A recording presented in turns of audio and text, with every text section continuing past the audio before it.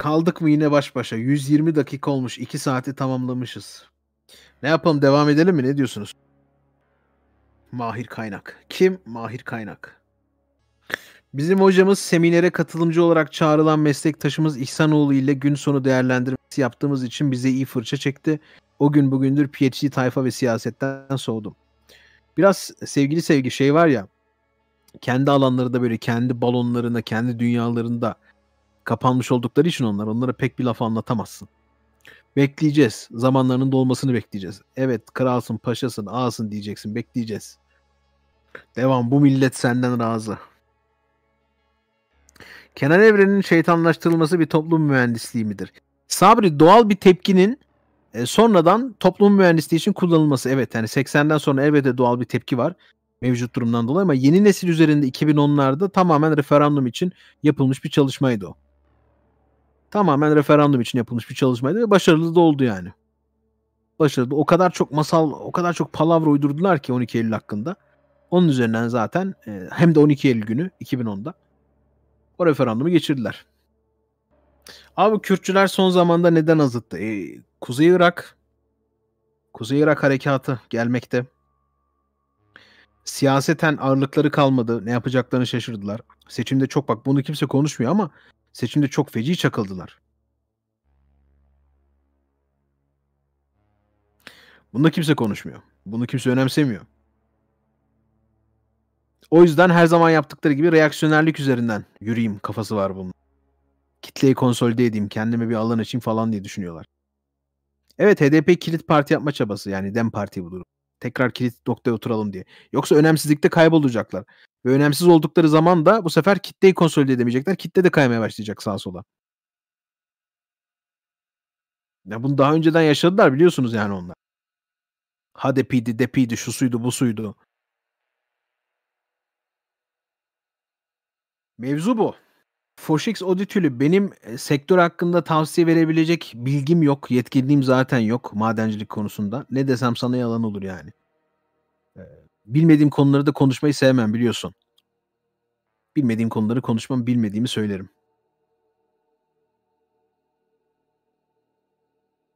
Ama tecrübe konusunda, know-how taşıma konusunda hangi sektör olursa olsun 1-2 yıl yurt dışı şansım varsa değerlendir derim. Yani birçok kişiye de aynı tavsiye veriyorum. Hangi sektör olursa olsun. Yurt dışı görmek her zaman bir artı katar sana.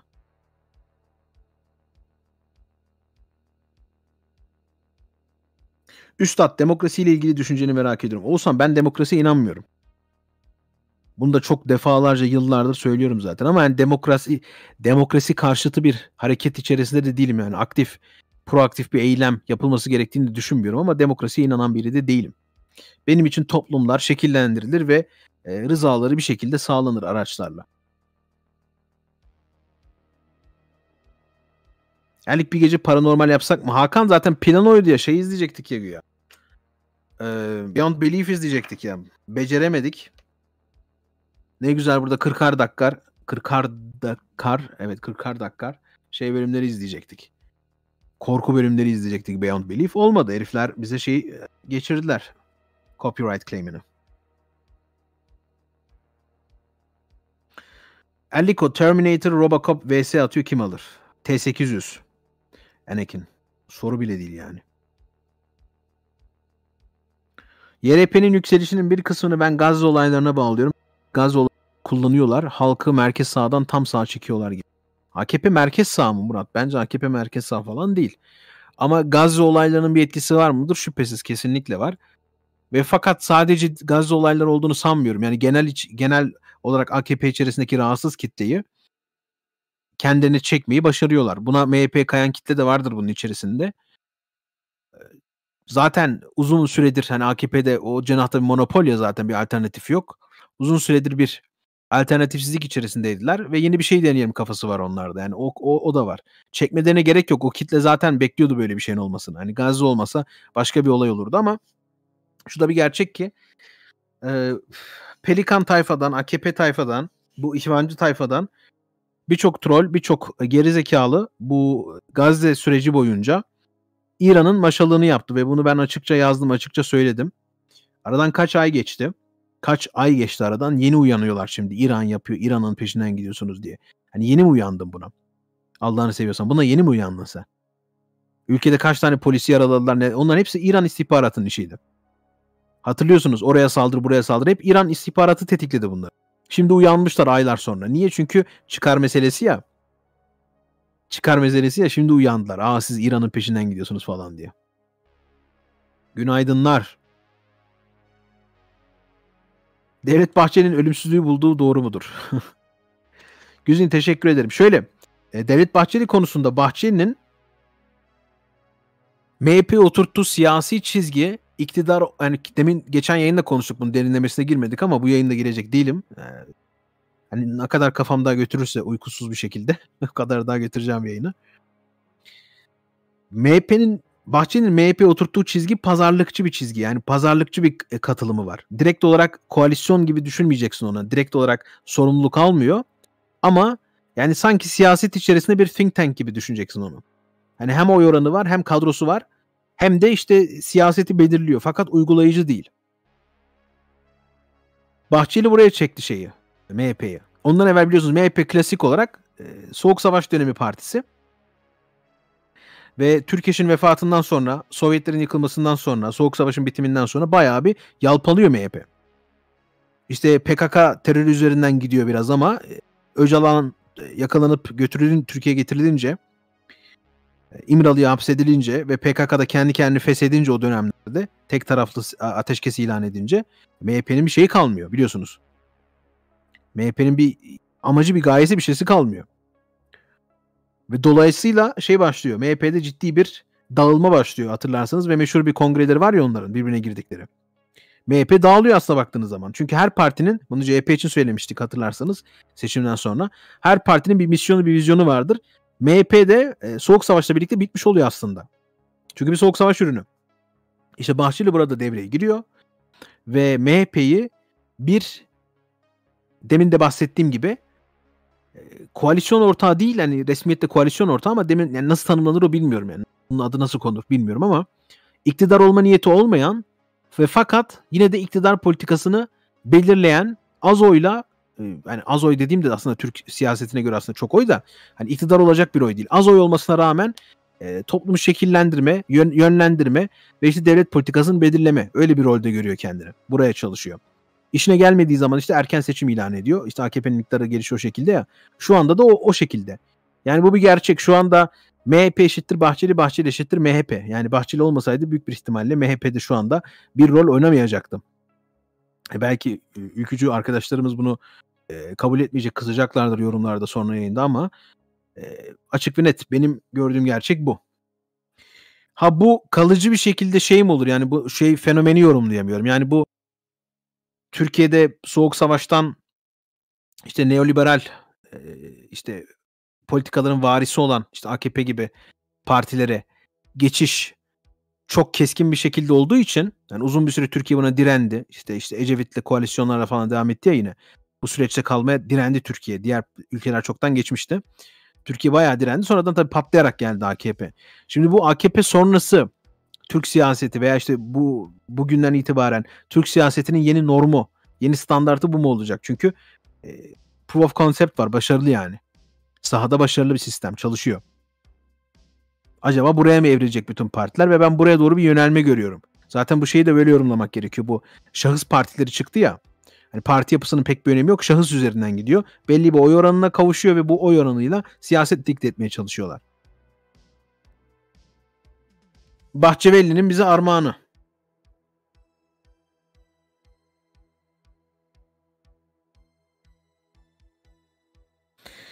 Bahçeli'nin iktidar olabilmesi için ülkenin küçük bir Osmaniye. Zeus ona göre şekillendirebilir ama yapmıyor. Hani öyle bir niyeti yok. Daha fazla oy şey yapma niyeti yok. Mesela AKP'nin yaptığı gibi. AKP'nin amacı biliyorsunuz gayet her zaman maksimum oy alıp iktidar olmaktır. Bu.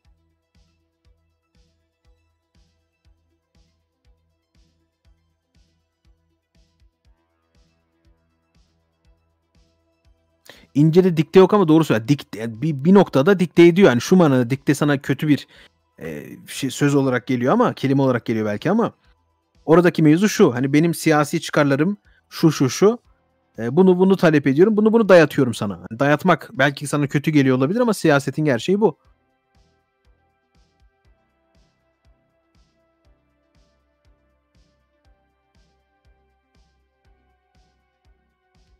Doğu Perinçek 0.22 ile politika biliyor. Bunu seviniyor. Kadro Erdem.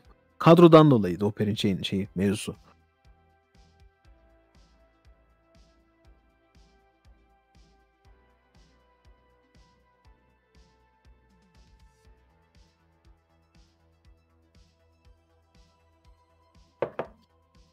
Hadi son mesajları alayım. Benim gözler kapanmaya başladı.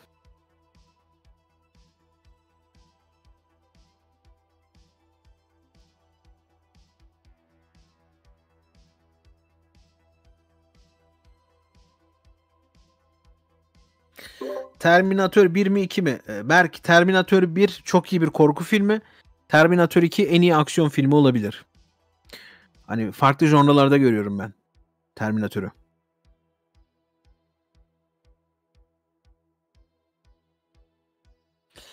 Super Chat'e bak. Ne kaçırdım.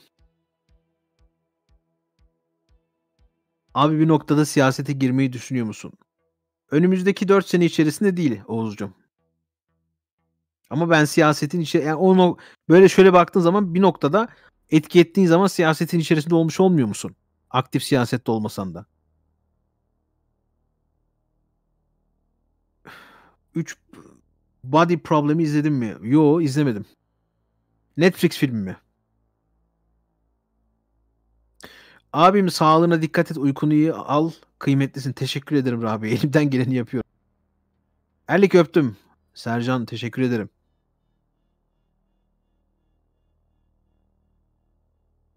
Yok Sadrettin ben böyle memnunum. Gerek yok. Abi güncel yeraltı dünyasını takip ediyor musun? Ediyorum Turunç Nadir. Ediyorum etmez miyim? Benim alanım yani. The Boys'ı izledim mi? İzledim Ömer hatta yorumladık konuştuk burada.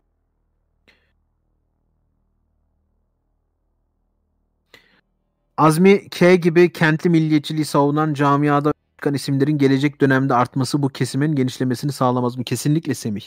Yani eğer önümüzdeki dönem e, MHP ne MHP'si ya olan Bahçeli. önümüzdeki dönem milliyetçilik yine köklerine dönecekse yine Gökalpler gibi bir e,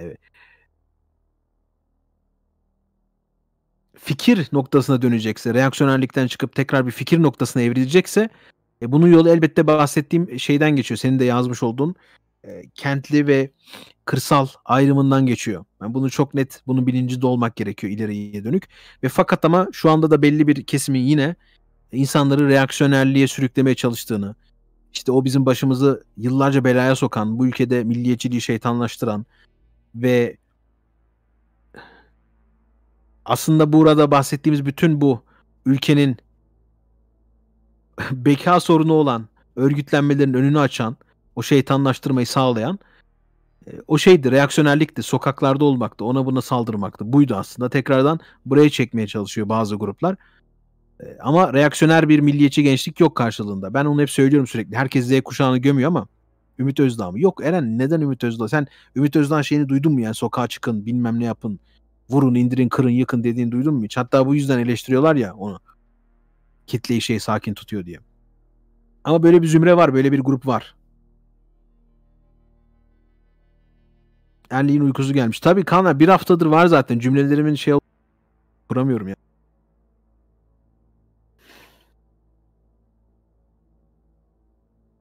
İzledim New Trace'i. E, Nobody şey diyorsun sen o pilot çocuğun yaptığı video diyorsun değil mi? İzledim onu da izledim.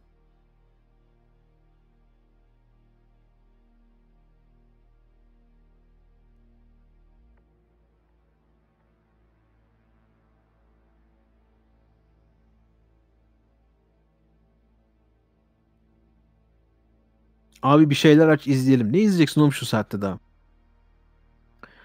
Erlik peki Bahçeli'nin ayrılamazsın açıklaması için ne düşünüyorsun? Güzin yani ben onu şeyle okuyorum.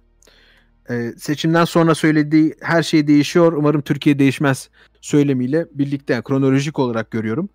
E, tamamen bu Anayasa Mahkemesi etrafında dönen kavga ve ileriye dönük AKP'nin içerisinde bir clean MHP'yi şutlama çalışmaları, bu Pelikan tayfanın MHP'yi şutlama çalışmaları ve tekrardan Dem'le bir aşk ilişkisine girme çabaları var. AKP yönetim olarak demiyorum ama içerisinde bir clean. Hatta bunun içerisinde şey var. Geçen söyledim de bazıları şey yaptı. Bak yine şey deyip duruyorum bak cümleyi bulamıyorum. Uykusuzluğun bizi getirdiği nokta. Eloquence'den gidiyor.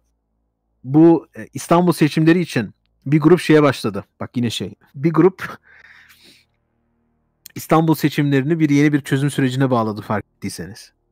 Bunun sebebinde Washington Enstitüsü'nde bir analiz var. Özel hesaptan, prive hesaptan paylaştım ben de onu. Orada yapmış olduğu analizde arkadaşımızın e, Washington Enstitüsü'nde şöyle bir analizi var. İşte Erdoğan eğer e, seçimi kazanırsa e, şey konusunda bak yine şey dedik. Erdoğan eğer seçimi kazanırsa tekrardan yumuşamaya gidecek. Yeni bir çözüm süreci yapılacak. Muhalefetle barışmaya gidecek. İşte ekonomi falan düzelecek. Dış politikada daha da yumuşak davranacak. İşte harekat yapılmayacak. Zart zort. Yani bugünlerde Tazmanya canavarı dahil birkaç kişinin yayınlarda duymuş olduğunuz analizleri aslında Washington Enstitüsü'nde paylaşılan bir yazıdan, bir makaleden. Şayet kaybederse ben makaleden söylüyorum. Tekrar altını çiziyorum. Beyinsiz gerizekalı e, ruh hastası Twitter camiası için. Bunlar benim tezlerim, teorilerim değil. Washington Enstitüsü'nde yayılan bir yazı bu ve onu baz alıp bunu söylüyorlar şu anda. Alıntı yapıyorum yani, yorumluyorum. Güzel eşek kardeşlerim. Burayı dinliyorsanız eğer. Şayet kaybederse yok ha, şayet kaybederse de radikalleşeceğini işte harekatların sert bir şekilde devam edeceğini ve yeni bir çözüm sürecinin olmayacağını yazmış bu arkadaşlarımız analizinde. Ve bunlar da bu görmüş olduğunuz işte Tazmanya canavarı dahil olmak üzere bazı medyadaki dostlarımız da tamamen bunu baz alıyorlar. Tabi yarın öbür gün bu işler ters giderse çıkıp da şey diyecekler. Ya ben onu hedeflememiştim. Ben tersten psikoloji yaptım. Ters psikoloji yaptım yine zafer ulaştırdım falan gibi yine kolpasını sıkacaklardır. Böyle bir şey var. Böyle bir teori var. Sevgili e, Oktrol kardeşlerim biliyorum nefret ediyorsunuz ben teori bu deyince ama böyle bir teorileri var. Bu bazda hareket ediyorlar. İşin ironik yanı şu muhalefette de buna inananlar var. Ve bu yüzden AKP'nin kazanması gerektiğini düşünen bir grup da var muhalefette. yani çok çok değişik bir dönemdeyiz.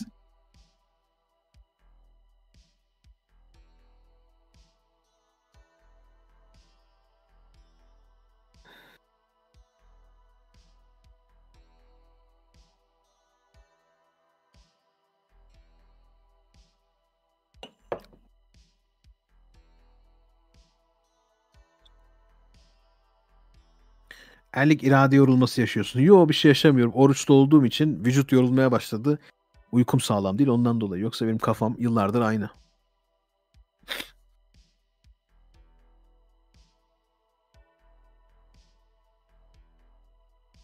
Peki Erlik Travis Scott dinler mi? Yo sevmiyorum. Bana göre değil. Ayda içiyorum. Su içiyorum. Bir olsa da evet Furkan özel yani. Sen de şeyin çıkarmaya başladın artık.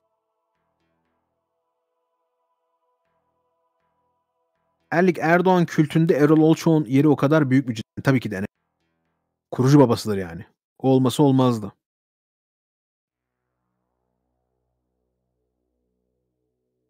Kila Hakan'la bireysel tanış. Yo tanımıyorum.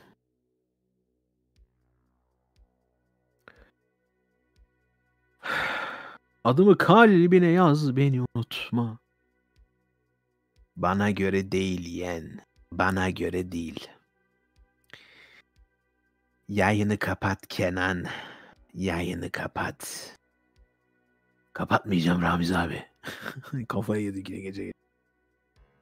Yayını kapatmanıza gerek yok. Ben zaten seçimleri kazandığım zaman istediğiniz kadar yayın açacağım. Genel Başkanım.